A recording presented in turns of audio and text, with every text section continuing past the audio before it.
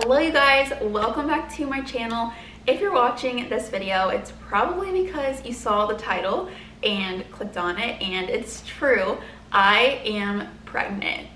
If you're shocked, like just imagine how I felt finding out and I've been keeping the secret from you guys since November. I feel like I've been just holding on to this and we are so excited to finally share with you that our little baby will be here in July of 2023. It actually feels crazy that I'm like even making this video and saying this out loud because we've just been keeping it a secret for so so long but I just wanted to catch you guys up on all things pregnant and everything that's been going on during pregnancy and basically just like get you caught up from when we found out to and now because there's so much that has happened that you guys don't even know about. So I'm gonna try to answer some questions that I feel like you guys might have. So we found out on November 20th. It was like a little bit before Thanksgiving and basically we're gonna post the like us finding out video on our joint channel so if you want to see that footage like just go on there and watch it it's kind of funny actually. But basically I was a little bit late for my period and we were about to leave for a trip. And so Johnny was like I really think that you should take a test. And I was like no I'm fine. You know but he's like well we're about to leave and like I just really want to know. So I'm like okay take a test and long story short it's positive. And we're both like um wait what? We were not expecting that. I take pregnancy tests like basically every month because I've been off of birth control since December of 2021 so like over a year that I've been off of birth control. So my periods are always pretty irregular. I take tests pretty often and I just kind of thought it would be you know another test. But now our lives are changed forever. So we found out November 20th and then our due date now is July 29th which is so crazy. It feels like so soon that it's gonna be here the baby. I'm just saying it because we don't know if it's a boy or girl so baby will be here so so soon before we even know it another question that I feel like people might ask is if we were trying and the answer is no. We were not actively trying for a baby. We weren't going to start actively trying until January of 2024. So about a year from now is when we were going to actually start trying for a baby but this little baby wanted to come much much sooner but i was tracking my ovulation and stuff so i thought i was doing really good and i was from december 2021 until november of 2022 so like 11 months i was doing pretty good tracking it and then i, I don't know what happened but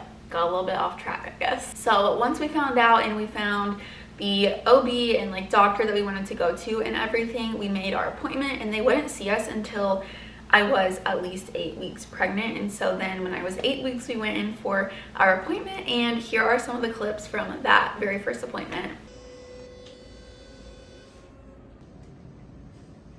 So basically at that appointment, they like confirmed the pregnancy, did an ultrasound and everything. And it was so crazy seeing a baby in there because we had known from we found out like a little bit before five weeks. So we had known at like four and a half up until eight, like not knowing, you know, what this baby is even doing in there or like is baby healthy. And so at our eight week appointment, when we got to see baby and everything, it was just so refreshing. I was like, oh my gosh, there's actually a little baby in there. And then we just had our second appointment earlier this week. So I will put the clips from that appointment in right here. So this appointment was basically just a checkup. They were just, you know, checking on baby. So they did another ultrasound and they said everything looks great. Baby is super, super healthy, which I am so, so thankful for. I feel like if you have been pregnant or are pregnant, you know that like in between appointments, you're just like, oh my gosh, is baby okay? Like we hadn't seen baby since I think it was like December 19th or something was our appointment. And it just was like, it was basically a month that we had no idea what was going on. And so at our appointment when they were like, no, baby's still really healthy, I was like, oh my gosh, praise the Lord. So we have another appointment in February, just like a checkup. They're not gonna do any ultrasounds at that appointment. And then in March is when they would do the 20 week anatomy scan and we will find out baby's gender. We're gonna do like a little gender reveal in March. So stay tuned for that. But you could always leave your guesses down below if you think it's a boy or a girl. I have like a gut feeling of what I think it is, but I don't know if I'm gonna share yet. maybe in another video when we like test old wives tales or something i'll share what i think but ever since we found out about the pregnancy i was like oh my gosh i think it's this so we will see if my gut instinct is right once we know the gender so as i'm filming this video I am 12 weeks and 5 days and baby is the size of a lime, which is so crazy. Like a lime seems really big for some reason. So in just two days, I will be officially out of the first trimester and into my second trimester and so I wrote down like a bunch of things. During the first trimester, I just kept like a little pregnancy log so that I could talk about my experience with pregnancy. I know every single woman's experience is completely different and you're not even gonna know how your body is like gonna handle it until you go through it. But I just wanted to kind of give my take on it because I feel like being pregnant has such a negative connotation and I know that a bunch of women truly like are so sick in the first trimester and so I don't want to disregard that or anything. But if you are not pregnant yet you've never been pregnant and like that's basically all that you know is like the negative things I kind of just wanted to talk about my experience because honestly I have had, I mean, this is my first time ever being pregnant, so I'm not really sure. But I feel like my pregnancy so far has just been perfect. Like, I have really not even been that sick at all. If anything, it's just like lack of motivation and just kind of like exhaustion, but I'm not like sick, throwing up or anything like that. Like week three and week four, this was like the week before we even found out actually. Um, I wrote down Around 6 p.m. I get nauseous almost every evening and I keep waking up to pee in the middle of the night. But like the getting nauseous in the evenings, I thought I was about to start my period. And so that wasn't really like a red flag for me for like, oh my gosh, you're pregnant. I was just like, oh, my period cramps are awful like this month. They like waking up to go pee a little bit. I was like, oh my gosh, am I pregnant? I think I woke up in the middle of the night to go pee like three or four nights in a row and I never ever do that. Like waking up in the middle of the night, like 3 a.m. waking up. I never do that. And so I was like, wait a minute, why am I doing this? Like that did cross my mind. But then in week four, it's, I just wrote down like the nauseousness. It wasn't um, waking up to go pee, so it went away. And so I was like, oh, everything's fine. Like there's no baby. And then later that week we found out. so I only was like getting nauseous the week before we actually found out I was pregnant and then basically like up until I found out and then once I found out I wasn't getting nauseous anymore which is like pretty crazy. But that whole time I never threw up or anything. It was just like a very nauseous feeling. For week five I wrote down that my boobs were really really sore. So this is like when we already know that we're pregnant. But my boobs were really sore and I was literally starving all the time. I could eat a huge meal and right after I'm starving. So that was crazy. It was weird because as much as I like was starving, every single food would make me nauseous. And like I never threw up or anything, but it was just like the thought of food was like, oh my gosh, I'm nauseous. So it was a really weird thing because I was so hungry all the time but couldn't eat anything. But luckily that was only that week. So just like week five was all that lasted. And then for week six, I did actually throw up. I wrote down on December 5th, I threw up for the first time, but it was very, very weird. So basically I was like brushing my teeth at night before bed and I'm not sure if I just like gagged myself a little or what. This is like TMI, but you know what? I'm just trying to be open about my pregnancy journey. So I don't know if I like was like scraping my tongue too much or what, but I threw up a little bit like in the sink and it wasn't enough. Like I didn't run to the toilet or anything. I just like washed it down the sink and then I went to Johnny and I was like, I just threw up. And he was like, what? And he was like, do you feel sick or anything? And I said, no, I feel totally fine. My stomach was completely fine. I just, I just threw up a little bit.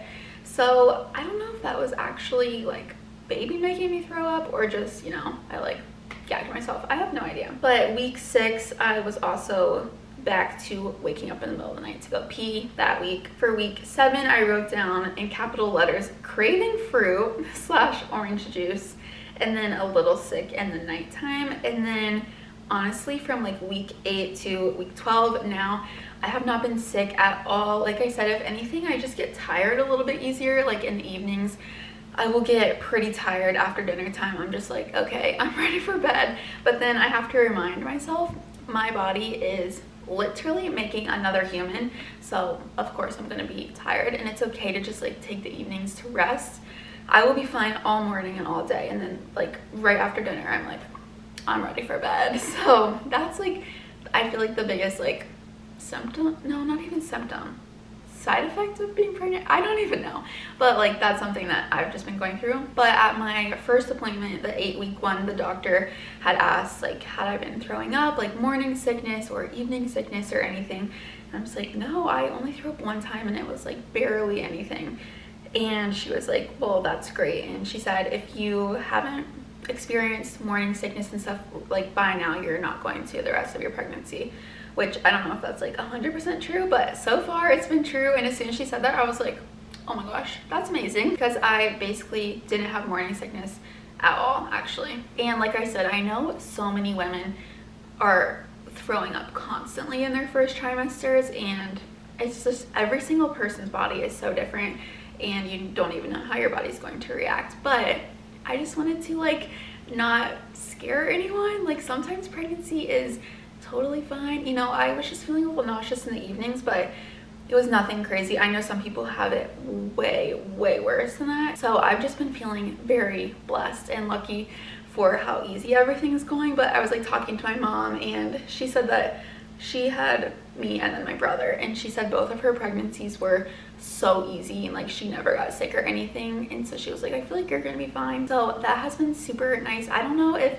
morning sickness and stuff is genetic or what but i feel like my pregnancies have been pretty similar to my mom's with like the whole sickness thing. Eventually i will film a second trimester recap and a third trimester recap too because i know that so much can change just from like first to second to third you just never know and i'll be sharing pregnancy vlogs and videos like that. I want to film a baby names that I love but we aren't using so I have a lot of baby content coming up but if you are like I hate baby content that's okay. I'm still to be posting other videos too, you know, normal vlogs and get ready with me, makeup routines, night routines, things like that. The last thing that I wrote down that I wanted to talk about in this video was like my cravings that I've been having during this pregnancy and it's just been so bizarre. Things I have been craving the most are fruit, like I wrote down it like earlier in the first trimester fruit orange juice smoothies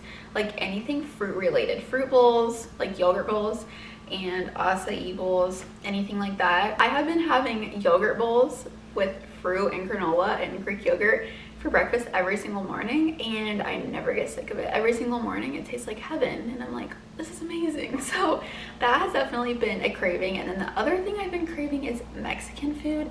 Normally, like pre-pregnancy, I love Mexican food, but lately it just sounds so good. Like chips and guac and we have this Mexican restaurant in St. Pete that we love to go to. It's called Casita Taqueria, I'm pretty sure. They have this chicken bowl type of thing on their menu that I love and since being pregnant that has sounded 10 times better than any other food. It's amazing. I'm like, should I get that for dinner tonight? but those have been my biggest cravings, like fruit, acai, stuff like that, and then Mexican food, which are completely different things. Like one is very sweet, one's like more salty, kind of spicy. So I don't know, it's just been a little all over the place. Also, I am so surprised that no one had picked up on my pregnancy at all.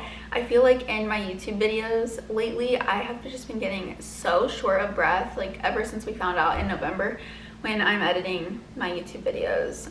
I just think everyone is going to know that I'm pregnant. I can barely speak a sentence without like gasping for air. I just thought that everyone would be able to find out. And also I feel like now I think I'm starting to get back with it. But for a while, my TikToks were just not very creative at all. I felt not really like myself. I It's so weird because I felt like myself, like even though I was pregnant, but I just could not bring myself to make TikTok videos. I was like, no, that does not sound fun right now and I don't want to be in front of a camera. I just felt very, very ugly to be honest because my body is changing so much and my face was breaking out like crazy. I can't even describe. It's starting to get back to normal but I think in my last vlog even, it was either, I can't remember, one of my latest vlogs, I was like, my face is breaking out so bad. And internally, I'm like, well, I know it's because I'm pregnant and my hormones are just crazy, but I can't say that because no one knows that we're pregnant yet. But it was so funny. All of our friends and family that we told, every single one was so shocked and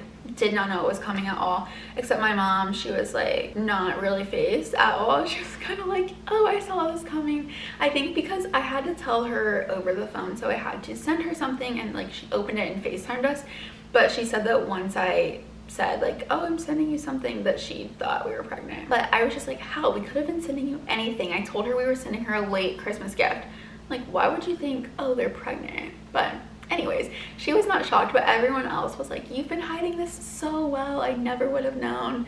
So anyways now i can share. Also i feel like in every instagram photo i am sucking in my stomach. I have brand deals with bikini brands and stuff so it's not like I can just wear oversized, you know, I'm wearing like literal bikinis and in all those photos, I'm like trying my hardest to suck in, especially on TikToks, like get ready with me for the pool or like my swimsuit haul, like whatever.